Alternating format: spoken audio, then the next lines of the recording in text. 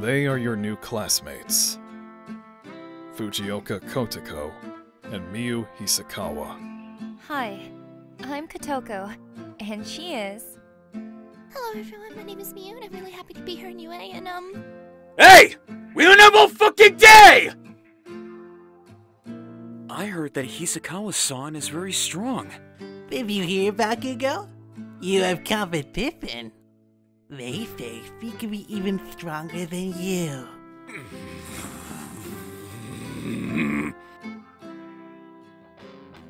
Hey.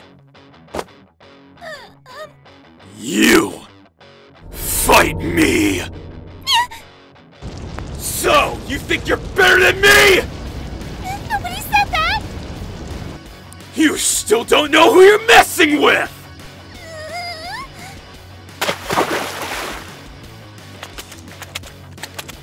Come here, damn rice face!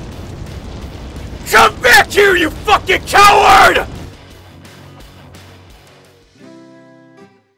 Since that day in the hall, Bakugo has not stopped chasing me.